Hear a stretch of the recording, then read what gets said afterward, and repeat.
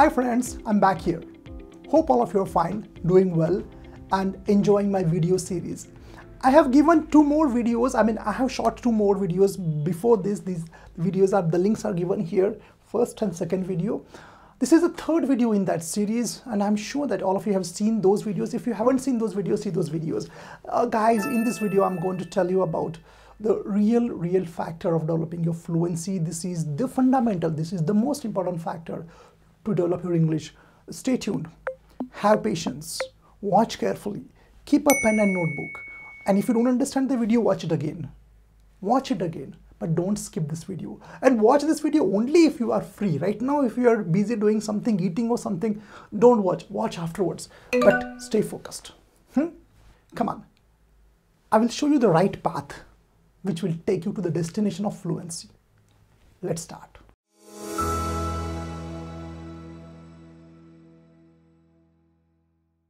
So here we go. Yeah, our basic is very weak. Now, when I say our basic is very weak, why I say this? The reason is this. See here, uh, I mean, I mean, this is my experience. Uh, I have trained since 20 years.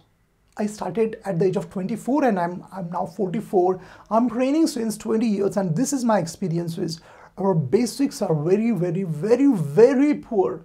Now what I mean by basic is you look at this, English was considered as just a language and it was given a stepmotherly treatment. I mean like a stepmother gives a treatment to her child. The same thing we did with English. What we did is this. We'll just just go and attend. English are not important. Maths home very important lecture. English lecture is not important. Well and we thought english is equal to grammar. English is equal to grammar. We studied english only for exams you know get those marks refer the question papers get some 60 70 grades and fine Englishes. even i did the same thing. In my school i did the same thing. But when we finish our graduation, and again in graduation also communication skill is just a subject which no one takes seriously. And when we go in the final year then we all get up from a slumber from a deep sleep and then we hmm. go on my placement is there my group discussion is very important i have to work on my communication interviews and all those things then it is very late and i mean i will make a video on that but this is the way or this is the way we have dealt with English and this is the reason why our basics are poor. When I say our basics are poor, what I mean to say is our words are poor. Our words are weak. We have, we do not have knowledge about the words. I'm not saying vocabulary, I'm saying knowledge about the words.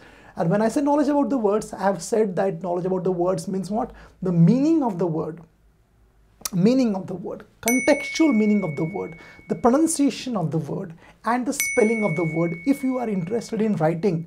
But here in our channel, we don't focus on writing, we focus on communication and psychology. So I'm not talking about that. Two important things are there, meaning and pronunciation of the word. This is very weak. Now the question is how to work on this. Well, uh, do you have any tablet for developing your vocabulary or words? No, we don't have that. Many of us feel that my vocabulary should just grow and keep on enriching. And I'll tell you one thing, dear friends, it's not going to work in this way. If you feel or if you think that communication is like two or three months, you forget this, it's not going to be like this. I know you may have heard some very attractive advertisements 21 day course 30 day challenge 7 day challenge is there maybe there will be another video with one day new speaking challenge you can go and watch them i have no problems but my channel is not like that my career is communication and emotional personality and public speaking. It's my career. I have given up my PhDs. Though I'm a PhD, I have given up all those fields. No professor, no HOD, nothing. I have devoted for this field. So I'm very serious about what I'm saying. So guys, whatever I'm going to tell you is very serious. And I want you to stick with this. This is not, because I'm not here to give you any shortcuts. I know that if I do all these things, my channel will not go for too long or my institute will not work for too long. Hmm? Words. Now, the only way to work on your words is reading. There is no other way, dear friends, no other way. Trust me, only reading. And as I said just before, according to one survey, it is found that 97 to 98% people do not read any book apart from their academics, apart from their academics in their entire life. In their entire life. Can you imagine this? What you're doing, man, what you're doing. This is what we do. And then we complain, oh, hang on, my English sucks. And I don't understand what, what to read. I don't understand what is written over there. I don't understand the podcast. I don't, I want to speak. I don't understand which words to use. This is the reason. Why? Because you are not a good reader, regular reader. On my channel, I will give you some great tips. And I will enhance to develop your reading habits. But the next point is here reading and listening is a cycle. Now, understand one thing as I was talking about words, hmm, this, this is about this video series. I hope you understand is about understanding a podcast and uh, framing proper sentences. Getting it right? So, the problem is many of you, as I said, like we don't understand proper uh, good speakers, we don't understand better speakers. What? Why we don't understand? The reason is so they speak fast, so they use better vocabulary, so we don't understand the contextual meaning. Now here is the solution. You are reading, okay, you, you got some great words in the format, okay, the format, well, okay, if you don't know what is the format, I have made a separate video, link is given here, watch that video very carefully, and I've, I've told about the format.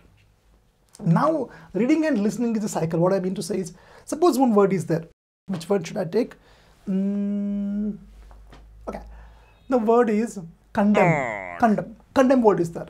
You should know the meaning of the condemn means to criticize or not to accept it.